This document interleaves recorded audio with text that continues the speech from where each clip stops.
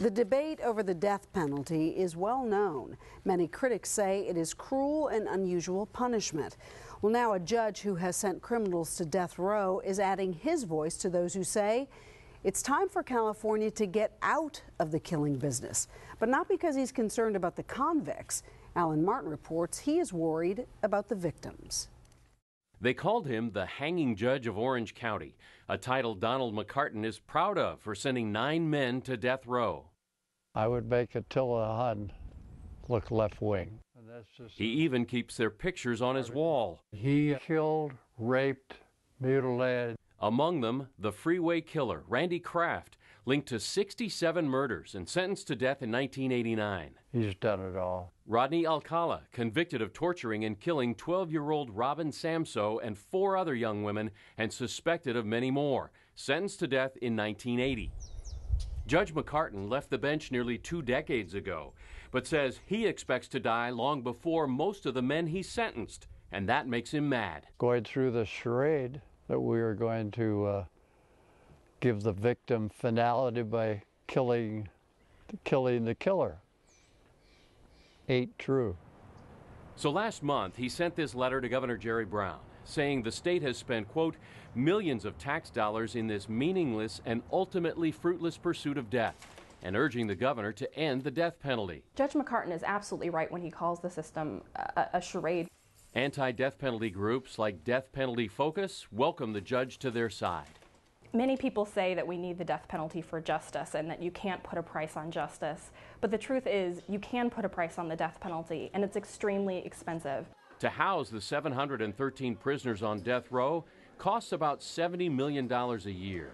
Taxpayers also pick up the tab for both sides of their court appeals, prosecution and defense for another $60 million a year.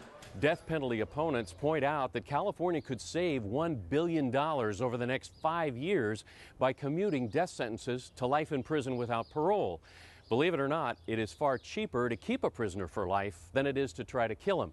About $175,000 less per prisoner per year. What we need to do is fix the system. We did get caught with their child, though. Michael Rushford of the Criminal Justice Legal Foundation says costs are skyrocketing because death penalty opponents have rigged the system, causing delay after delay. Indeed, we spend more time on death cases, and we should. We want to make sure we're doing the right thing. We want to make sure we've got the right guy. But five years should be enough. And if they're just bodies laying everywhere. He points to Oklahoma City bomber Timothy McVeigh. The federal court system took just six years to try, convict, and hear appeals before McVeigh was executed.